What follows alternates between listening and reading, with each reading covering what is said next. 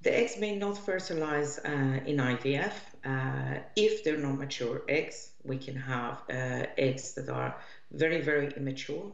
We could have eggs that are just the stage before complete maturation. Uh, or we can have very, very poor quality eggs, um, or even degenerate eggs, which is that uh, unfortunately they are not viable eggs.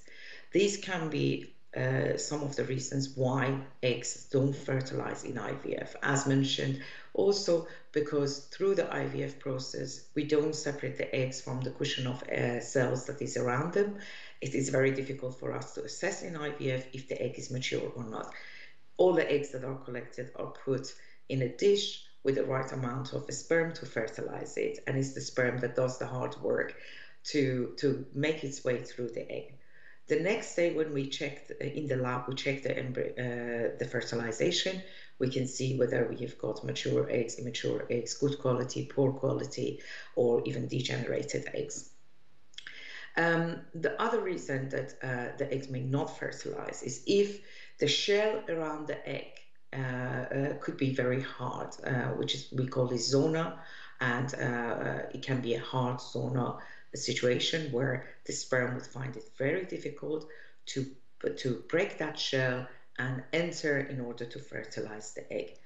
Um, if we find that uh, sometimes it is visible under the microscope that the shell or the zona is quite thick, uh, and therefore we know that that thick zona next time would need to actually use a process called uh, ICSI. So, so the ICSI would, would hopefully help with the fertilization rate the next time around.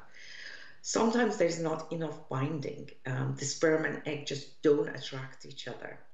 And if there is no binding between the sperm and the egg, uh, and we can uh, see that under the microscope from, from the number of sperm that is attached to the zona, uh, trying to get inside, because in a natural process of fertilization, many sperm gather around the egg, they try to penetrate the zona, and if the egg is good quality, uh, it would only allow one sperm to enter it, and then the zona gets hardened and won't allow the entry of any other sperm.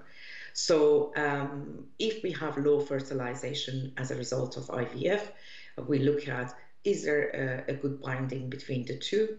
Uh, has the sperm survived well? Because that's another factor. Has the sperm survived well within that uh, uh, those hours that they are the egg and the sperm are left together? Because sometimes if the sperm cannot swim well enough to get its, uh, itself to this to this uh, to the egg, it could be that there is an, a sperm issue, that there has been low fertilization.